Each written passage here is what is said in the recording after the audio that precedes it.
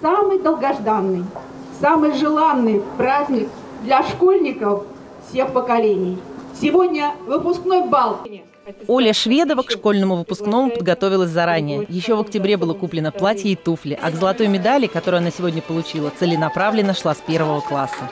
Школьные годы будет всегда вспоминать с теплотой и нежностью, уверена выпускница.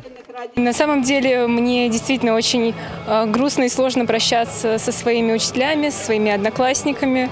И я довольно тяжело это э, переживаю, этот момент в своей жизни.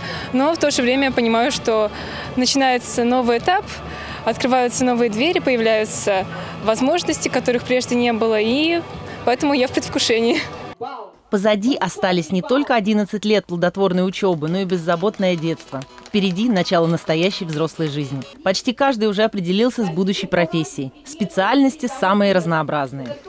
Я выбрала профессию архитектора, потому что это возможность менять реальность в лучшую. Я хочу стать юристом, потому что с восьмого класса я занимаюсь правом и обществознанием. Я поступаю в Московский государственный лингвистический университет. Я буду поступать на журфак, потому что мне кажется, что эта профессия невероятно важна. Я хочу доносить людям правду, э, и надеюсь, это станет моим будущим призванием.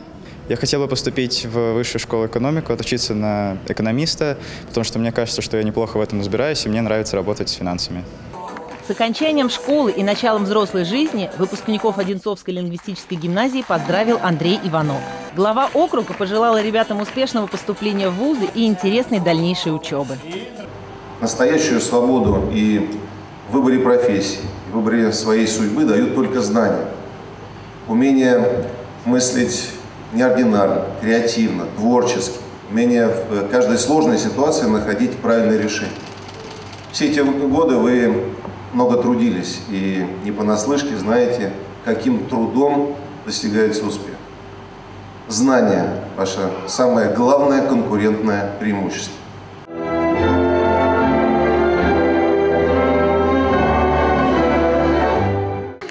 Волнение, восторг и радость. Эмоции переполняют. Для молодых ребят это первый такой важный и торжественный праздник. И каждый запомнит его на всю жизнь. От наставников выпускники слышат последние напутственные слова, поздравления и, конечно, самые теплые и искренние пожелания.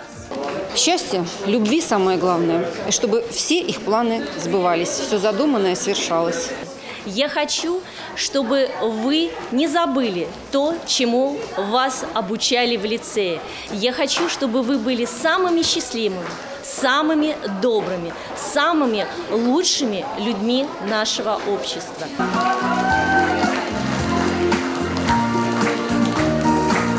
Полина Толмачева, Артем Ломоносов, Николай Бирюков, телекомпания «Одинцова».